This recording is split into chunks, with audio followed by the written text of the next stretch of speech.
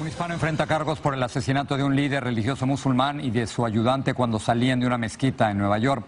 Como nos dice Peggy Carranza, familiares de los fallecidos alegan que se trata de un crimen de odio.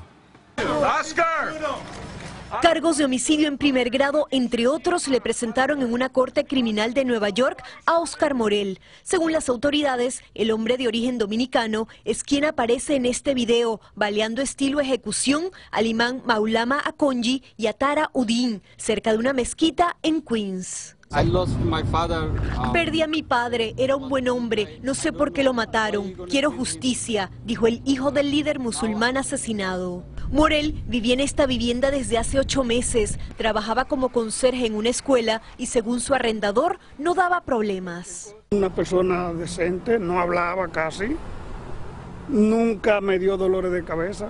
De acuerdo con la Fiscalía, aún se desconoce el motivo del doble homicidio, pero las familias de las víctimas insisten en que se trata de un crimen de odio. En general yo podría pensar que es un crimen de odio.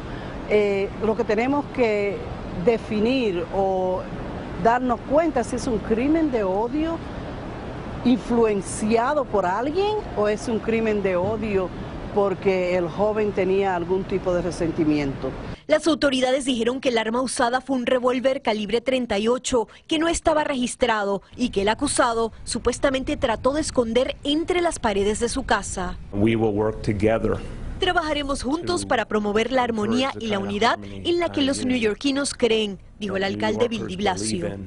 Según la policía, Morel ya había sido arrestado en el pasado por un delito menor. Esta vez, si es hallado culpable, podría ser condenado a cadena perpetua sin derecho a libertad condicional.